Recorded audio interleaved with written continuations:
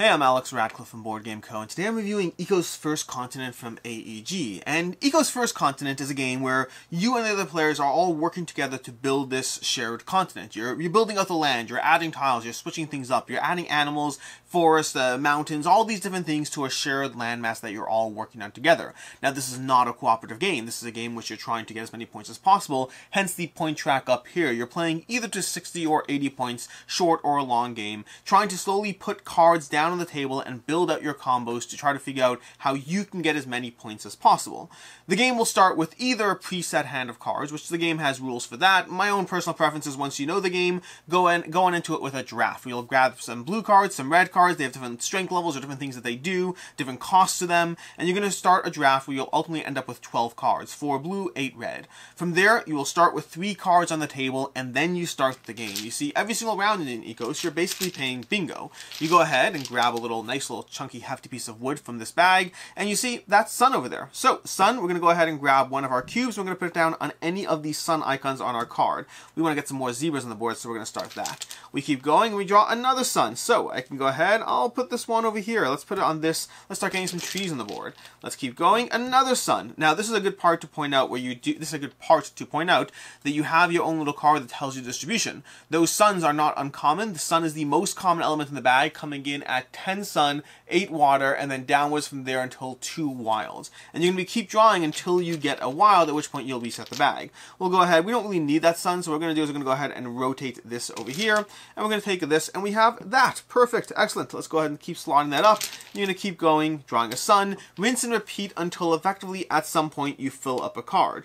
Once you've filled up your card, you're going to go ahead and do the things on the card. That will often involve adding things, removing things, changing things. But most of the cards you can see over here are green on the edges, which means they're having a more of a additional effect to the land. Whereas a card that has a red effect, which is very helpful for looking at your opponents, so you have a quick glance at what they're doing, those will often change land masses or remove animals, have more of a negative effect. So at a quick glance, you can kind of see whether your opponents are going to mess with you or just they're generally adding to the landscape. Granted, that can still mess with you, but not as directly or as obviously. So, once you go ahead and you resolve a card, you're going to do what it says. In this case, I'm going to add two zebras to the board. These zebras may be placed in spaces with other non-zebra animals, but must be placed adjacently, so I have to put those together. And then I'm going to go ahead and gain two points, and then I'll gain two points per zebra in this community of zebras. A community is a grouping of shared animals that shares a space with a non-zebra animal.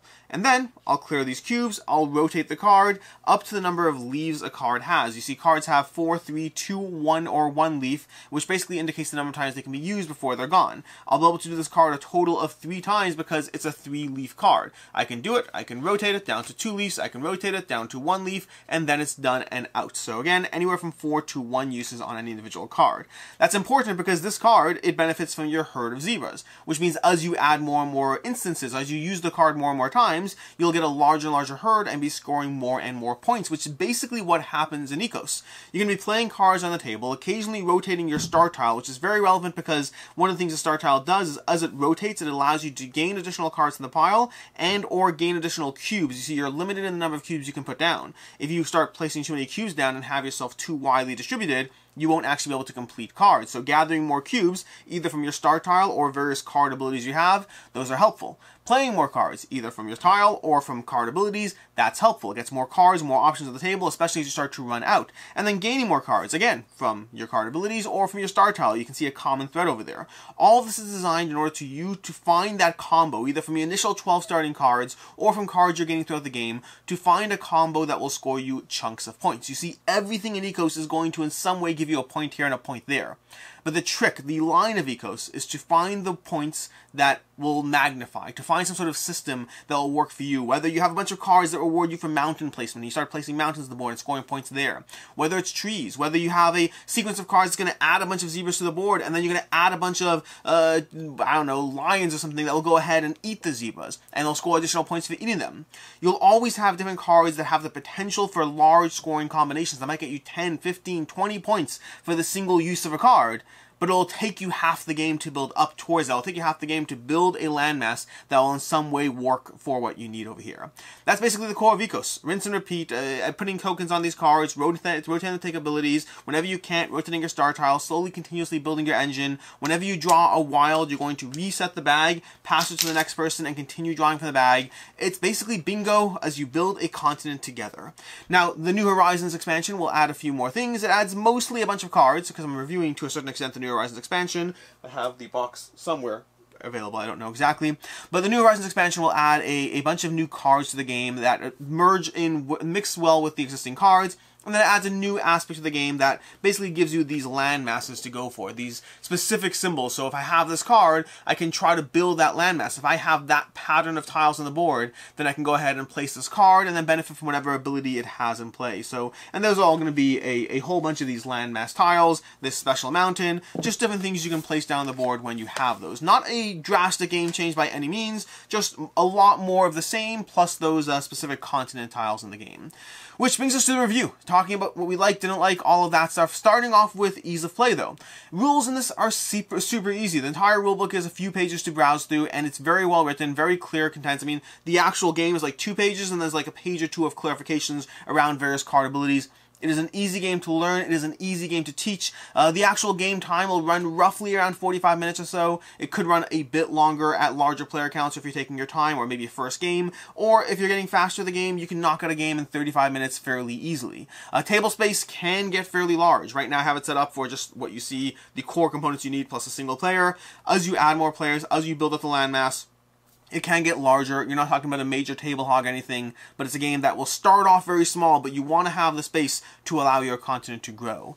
As far as player count, this is a 2 to 6 player game. I have not played it at higher player counts. I've played it at 2, 3, and 4 players. Uh, for those, I would say 3 and 4 are the sweet spot for me. 2 doesn't have as much interaction as I would like on the continent, and then once you start drifting to 4, you already start seeing a little more interaction, which makes it harder to pursue your own individual goals, or can make it harder depending on the cards you're going for. At 5 and 6, I imagine that gets even even more difficult as you have more people involved in the same landmass. So again, I've only played at 2, 3, and 4, but 3 and 4 so far are the sweet spot for me. I'd be probably willing to play it at 5 and 6, but not in a rush to do so. And what I will say as far as the gameplay, because of the nature of what you're doing, it's actually simultaneous. So adding additional players doesn't add that much downtime for the most part, for most turns, but then you will have that turn where someone says, pause, pause, I need to resolve this card, which will resolve that card, which will flip that card. You're going to have a bunch of cards triggering in sequence, and the more players will potentially add to the downtime. As far as player interaction in the game, it's fairly decent. It's not huge, but it's fairly decent in the sense that, again, you will have cards that eat other people's animals. You're you're building the landmass together. It's not interaction in the sense, uh, in the typical sense of,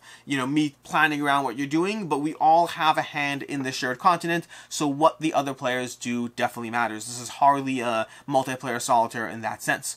As far as what I like, don't like, and can see others not liking, starting off with what I like, which is, to begin with, the pre-game draft. In general, I love drafting. I love that mechanism of, of building out your card, your hand of cards for the game. I like it when you have, you know, initial placement in Catan. I like it in Seasons when you have initial pre-game draft, pre-game draft, and I like it in Ecos, where once you play your first game with your preset hand of cards, you jump straight into a draft. And then from there, you're already trying to think through what you're building as you play. Grab a few cards that sync well together, build a few trees. Uh, those animals like to be near trees. You'll get extra points for those. These animals are going to eat that. These these oceans are going to surround the, the, the deserts that you place in, and it's all going to work together to give you points. The problem is you're only starting with three of those cards. So you need to start thinking through which three cards are going to be my starting cards. Which cards will let me add more cards? Do I want to play a card that lets me play cards? Or do I want to play a card that lets, lets me start putting elephants on the board? There's all these different patterns and pathways you can pursue, both your initial draft, and then even once you have the cards, how you choose to move forward from there. And this game has a ton of variability. I mean, this stack of cards is ridiculously large. I mean, granted, there's the expansion mixed in here,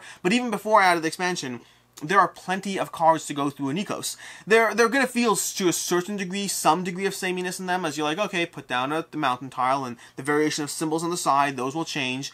But even though some of them will feel samey, a lot of them feel very different. There's always, every single time I play, there's always someone who's like, ooh, I've never seen this card before, and in some way it works well for what they're doing. There's a lot of variability, and that means also a lot of combos. A lot of different ways things sync together. My most recent game had me spending the first half of the game building up this herd of zebras. Combos, only to then spend, send them crashing down as I sent these wild predators out to chase them and eat them, scoring 16, 18 points on a single feast as I just devoured all the zebras in a spot. It was messy, it was brutal, and it's something I hadn't done before. There's always different pathways, always different combos. My wife, Rena, was sitting there trying to surround all these land masses with water and then scoring 7 points per surrounded tile, scoring chunks of 21 points at a time. Again, something new we hadn't seen before. There's lots of combos and lots of variability in the game. This is a lot of game. There's a lot of game in Ecos for the amount of time it takes to play it and for the weight of the game. This is a fairly, like I said already, the rules are fairly easy. It's easy to teach, easy to play.